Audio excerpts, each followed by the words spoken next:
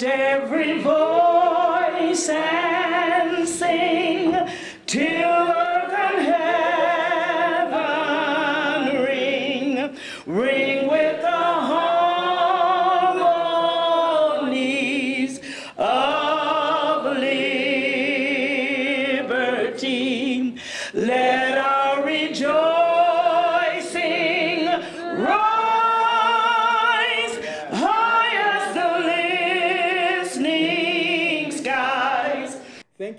tuning in to the NAACP Forum.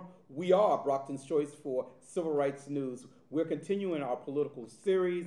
Today in the studio, we have City Councilor at Large candidate Gary Keith. Gary, welcome to the show. Thank you very much for letting, having me here. Are you, are you glad to be here? I'm always glad to be So here. So we tell everybody it's just a social conversation in a living room with the bishop. Are you ready for me? I'm ready. So you're running for city council. Why? Well, basically, uh, two elections ago, I decided that I didn't see anyone making any moves to get involved. Okay, roll up their sleeves, you know, and dig in and get involved to help the city out.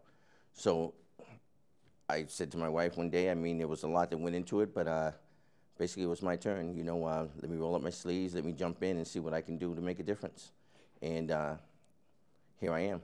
When you say roll up your sleeves, what does that mean to the constituents in the city of Brockton? What do you Basi- want to get involved with? I want to get involved with trying to make the quality of life our, in our city better. You know, um, we have a lot of, uh, at that time there, we had, you know, a lot of crime going on. Um, there wasn't any activities going for our youth. Um, it was just stagnant.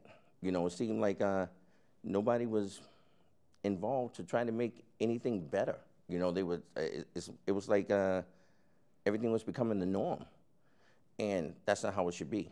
So basically, um, I decided to get involved to see um, how our government worked and to uh, see if I can make a difference. You know, it was my turn. You know, give me the ball, coach, put me in.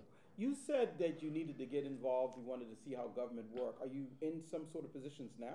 I am right now. After I ran in um, in the first election two uh, two elections ago, um, the newly uh, elected mayor at that time there called me in afterwards and uh, asked me um, and appointed me to the planning board. Oh, And, okay. uh, and then from the planning board, they appointed me to the uh, zoning board as a subcommittee member. So this is my fourth year on both. When you, uh, as your role on the planning board, first tell our constituents what does what do what does the planning board do here in Brockton? Well, basically, a lot of uh, businesses come into town and they um, they have to come in front of the planning board with their plans, um, with their sketches, how they plan on doing it, the size, you know, the uh, how much green space, how many, if it's a house that they're building, how many bedrooms, you know, those things like that. Um, so basically, and then it, it's kind of funny because of the fact that we have old zoning laws, okay, where I sit on both.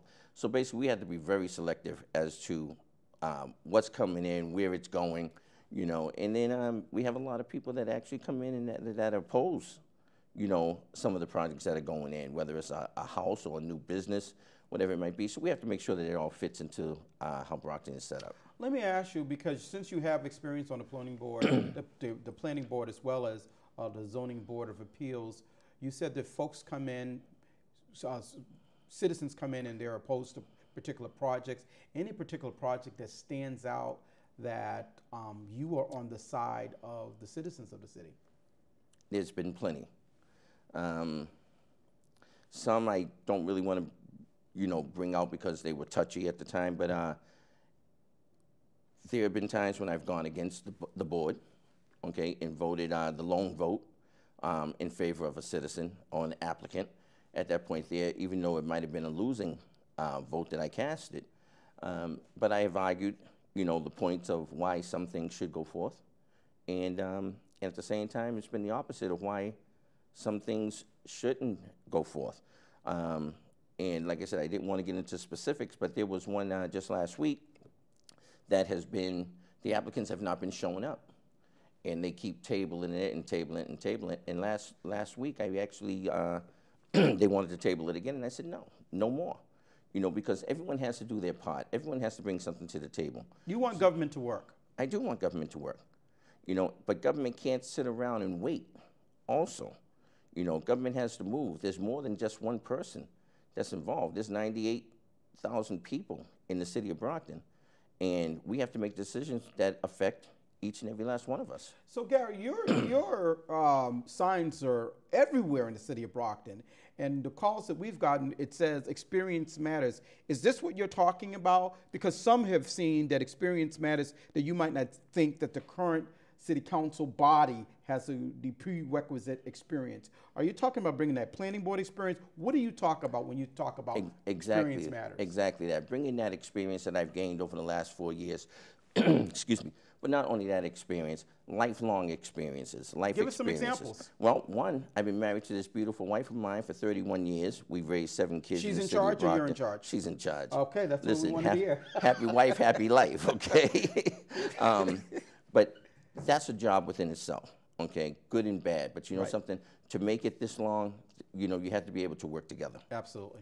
We raised seven kids in the city of Brockton that have all gone through um, the Brockton Public School System. We have four grandchildren now. I was I have an extensive background in law enforcement. I'm a U.S. Army veteran. Um, you know, I'm 58 years old right now. You know, so I've been working all my life. I've been involved with helping and serving all my life. I've been a member of my church for over 28 years, and I've served uh, numerous years uh, in the capacity of an armor bearer and as a gatekeeper. So serving is nothing new to me, and uh, this is just taking it to another level. Does your faith play an important part of your life? Very much, very much. Not a day starts without me on my knees thanking God for just having me wake up today. Amen. Let me ask you, crisscrossing across the city of Brockton, you hear a lot of negatives, you hear a lot of positives. Tell me what is right about Brockton. We have some very strong people here. The resolve of the Brockton folks are second to none. Okay, we have a lot of people that want exactly what I want. Okay, they want to, to have a good, um, a nice, safe area to go home to. They want to be able to enjoy the quality of life on the weekends if they take their family to a park or whatever. They all want the same thing. They want the crime to to uh, to go away. But this is a major city. You know, um, there's going to be crime. Okay, no matter where you go. Every I, I believe that every. But are we a crime-ridden city? Are we what? Are we a crime-ridden city? Do you believe? Do you believe the, in the perception that Brockton is a crime-ridden city? No, I do not. No, I do not. I believe we have a pocket. We have a a, a pocket, uh, for lack of a better word of saying it, a pocket-sized bit of crime. Okay, and I believe that most of it is the same people doing the same thing over and over again. If we can rid that of it, you you know, you'll see the quality of life go up and the crime would go down. So, so you're running for an at-large seat, and you, as you know, you've run before. At-large covers the entire city of Brockton. I'm sh- quite sure you've crisscrossed our great city. You know, I've had um, uh, people have questions around how our city looks, a need for a facelift. What is your program and your suggestion around dealing with blight? Well, first of all, we need to have code enforcement. Our code enforcement, I think, is lacking very, very bad. Okay. Um, with the planning board, we just adopted a, um, a blueprint for Brockton, which is actually a comprehensive plan that's actually getting ready to go before the, uh, the full city council for adoption. That's actually going to turn Main Street back into a two-way street, change uh, what businesses go in and things like that to get downtown looking better than it is right now.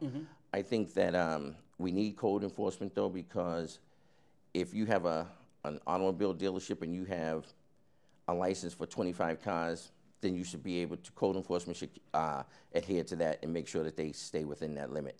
And uh, I think that if we do that, we can actually, you know, change the blight of Brockton a little So, bit. You know? So, uh, Mr. Keith, you, when you say code enforcement, we have code enforcement officers now. We do. Are you talking in terms of new ordinances? Are you talking in terms of increasing staffing? What are you specifically addressing? I'm talking about increasing staffing to where we can get out there and, and do our due diligence on all of them. I think from time to time we need to pull a license and, and check some of the businesses that are already um, in business around the city of Brockton. We need to go in, you know, the code enforcement department needs a couple of more, you know, they need to increase their staff to be able to go in there and pull it out and just go and do what they should be doing, which is checking to make sure that they're adhering to the rules that planning, that's where planning comes in again, has set forth. Okay?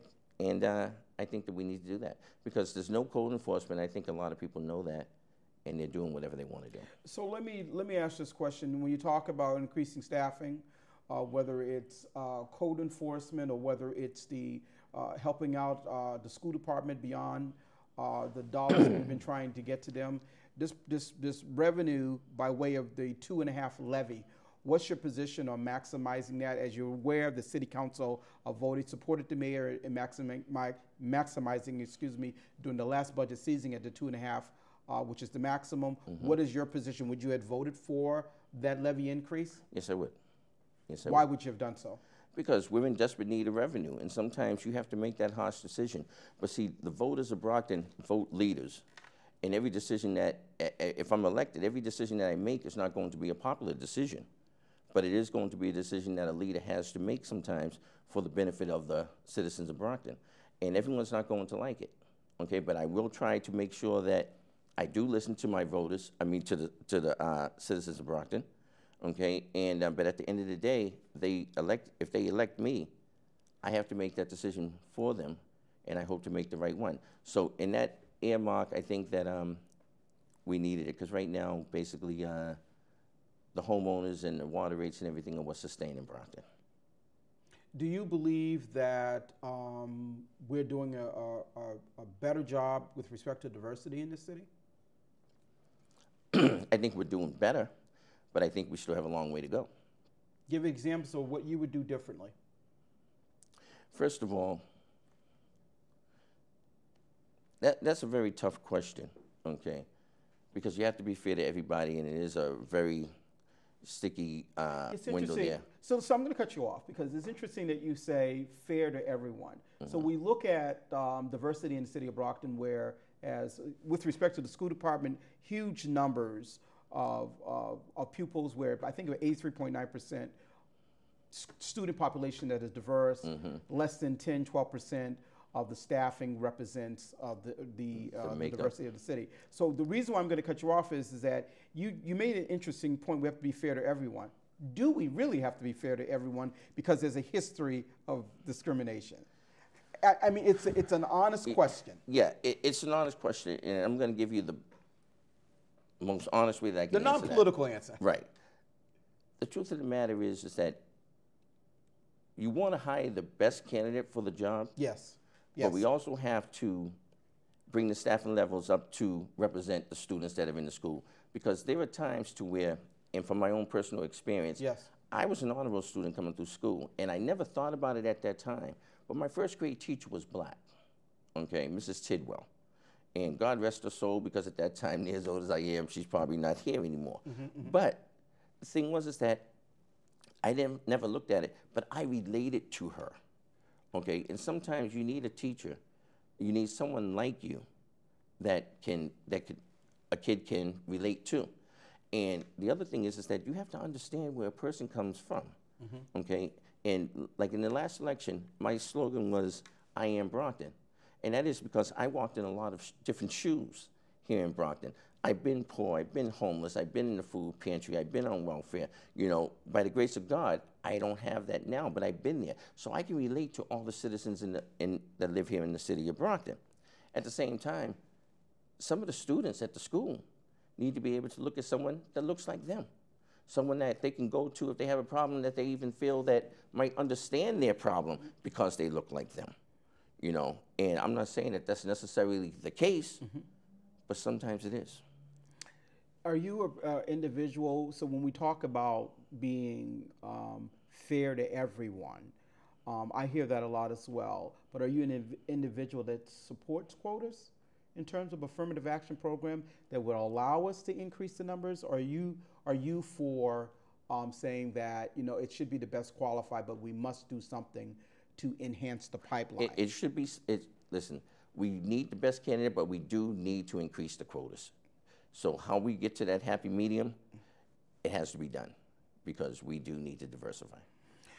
What is your thought in terms of, because we're on the subject of diversity, what is your thoughts around um, the sanctuary city designation it was a hot issue um, this past year with respect to advocates in the city of Brockton believing that we truly needed that designation. Uh, were you one that was endorsing a sanctuary city, or what was your particular? What is your position on that? Actually, I was neutral on it, um, trying to find out more information on it. I have found out a lot more on it right now. I think it's still, um, because we do have a revenue problem in the city of Brockton, it's, it's like twofold because of the fact that if we, if we're a sanctuary city under our current uh, federal leadership, we lose federal funding. And at the same time, I don't feel that it's right that anybody walking down the street can be, you know, stopped and uh, and pulled over or for whatever reason um, for that. I mean, because I, I get a lot of times, a lot of times I get people that ask me if I'm Cape Verdean. So what if I'm walking down the street one day and uh, someone asks me, am I Cape Verdean, am I Ill, Ill, uh, or illegal or whatever, and I don't have ID on me at that time to back it up, and, but I wasn't doing anything in the process to be stopped. So no, I don't, you know. So I think we yeah. need, I do think that we need um, immigration reform though, and we need it now. So with respect to, so you were a former police officer, um, enforcement, enforcement of ICE civil warrants.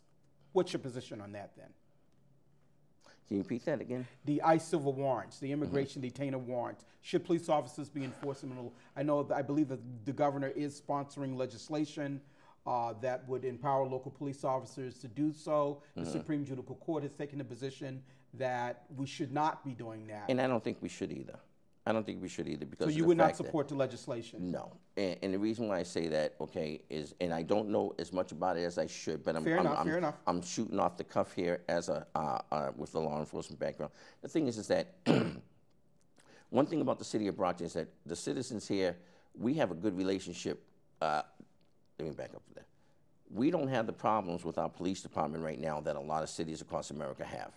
Okay, and the mayor I know, and a lot of the uh, the city councils and stuff, uh, and the police chief, they're trying to um, broker a better uh, a better relationship between the police and and uh, in the neighborhoods. Okay, and I think that we don't need to go backwards with that. I mean, I think that would actually uh, put the two sides at odds again, even more so than what they are already. So. I say let ICE do its job and let the police, the local police, do theirs. Taking a step back uh, to economic development, so you uh, on the planning board, you're on the zoning board of appeals. One of the some of the feedback that I've gotten in the last year is that we don't have a central location, especially for our immigrant population, new opening up businesses across the city, but we don't have a welcoming or a business center for them at City Hall where they'll be able to go um, and see what the how basically the rubber hits the road. Would you support, sponsored by the municipality, one central location for our, our pop, some of our population to go to, or all of our population to go to, around opening up businesses, business licensing, basically a welcoming center? Would you support that? You know something? I believe that's the first time I heard of that, um, Tony, and, and I believe that I, I would. And the reason being is that I've met with a lot of uh, different uh, organizations around the city, and um, especially um, I'm talking about whether it's uh, Cape Verde, a Cape Verdean organization or, or a Latino organization, whatever it may be. And there are a lot of people out there that can actually get together and have, and ha- if we put that in one central location, there's enough um, experience around the city of Brockton that can actually help people with that. So I do, I would go for that. So I've interviewed candidates, and they've talked about the relationship between, um, or at least I've broached the, the subject of the relationship between the legislative, the city council, and the executive branch. What is your position? Are there tensions right now? Do you think it's a good relationship between the city council and the mayor? what would you do differently? What I would do differently is basically communications. Um, I think anyone that knows me right now knows that I'm approachable, I'm transparent, I'm consistent, okay? And at, nothing should just be a no, okay? Um, if, if you bring an idea to the table, okay, maybe it's not, maybe I'm not going for that idea at that time there, but talk to me. Let me see, explain your point to me. And then maybe we can add or subtract to that.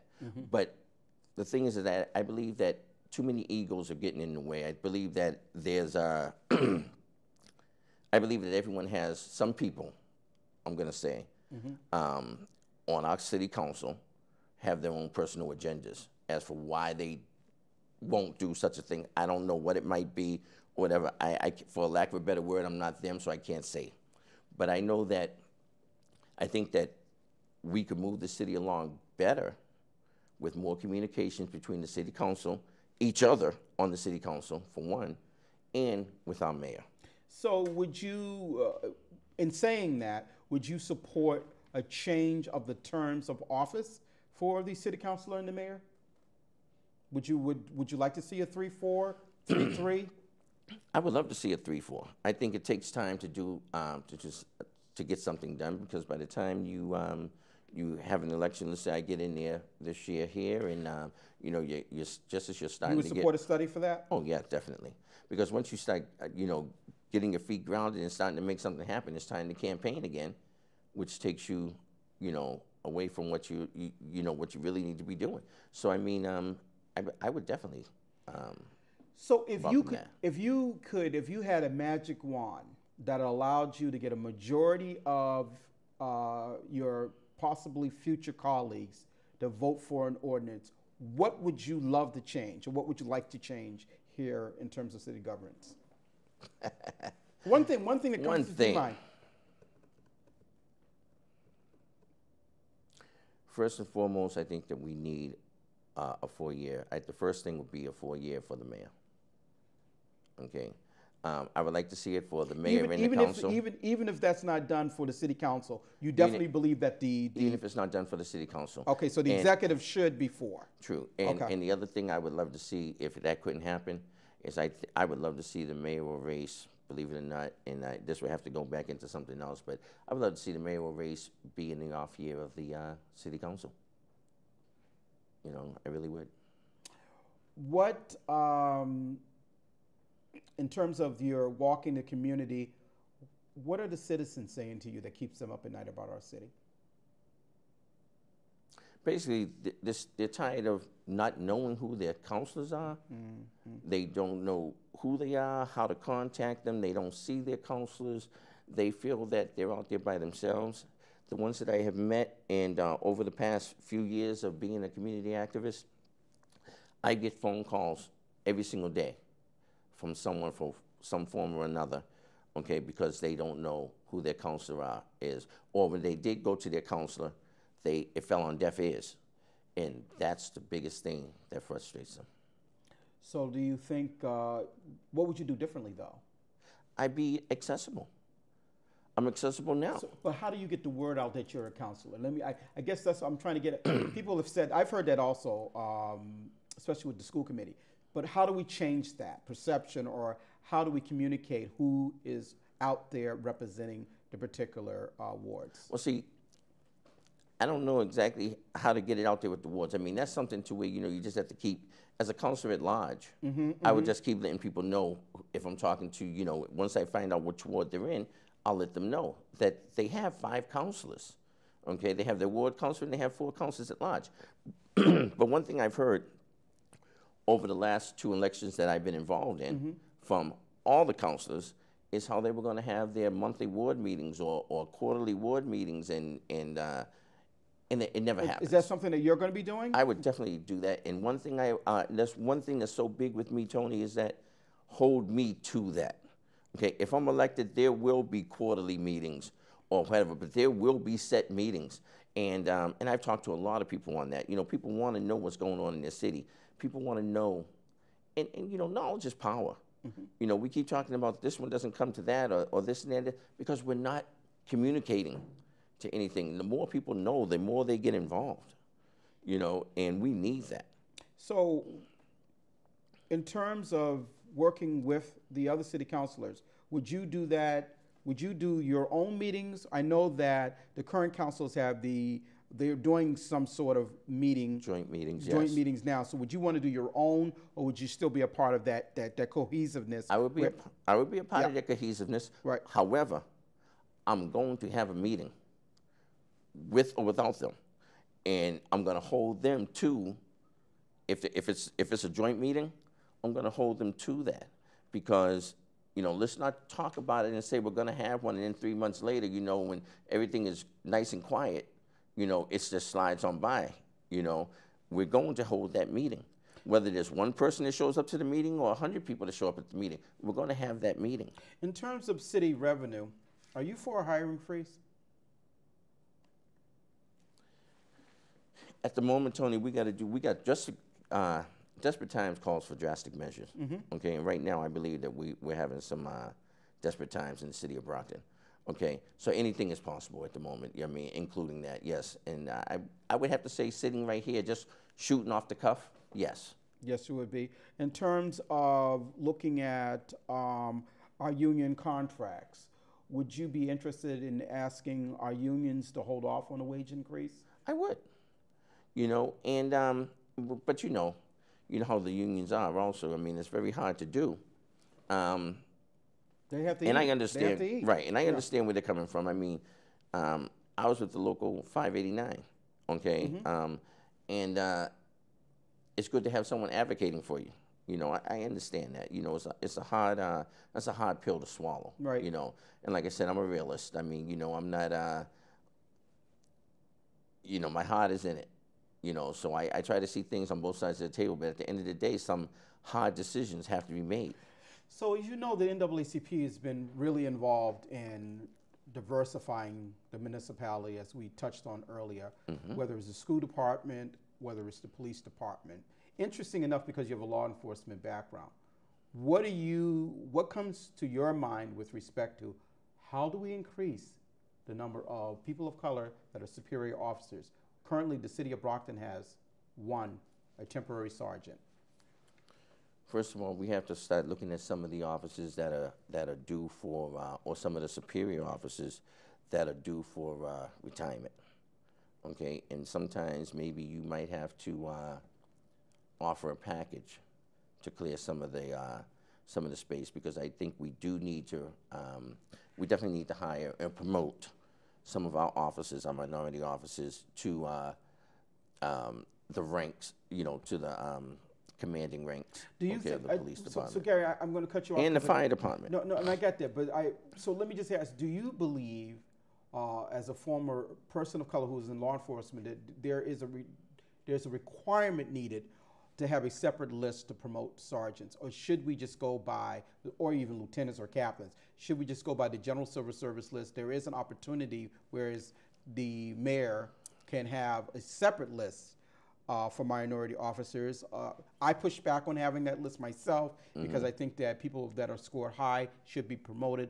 But it's really my concern is how do you deal with past discrimination? You know, again, Tony, you're asking some really good, tough questions. Um, you know, I'm glad it's the mayor's job and not mine.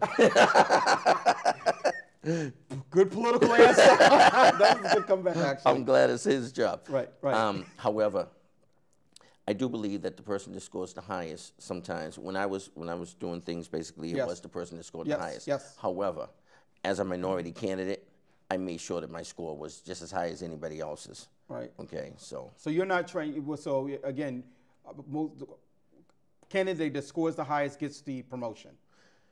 Yeah, but I do agree with the mayor having a separate list sometimes to where if it's a close, if, If it's a point be- or so, he be. needs to be, yes. All right, take this last minute for closing arguments. Well, basically, um, my name is Gary Keith Sr. I'm running for candidate, um, counselor at large again for the great city of Brockton. Again, I told you um, that I'm married. I raised my family here. I do have an extensive background in law enforcement, U.S. Army veteran.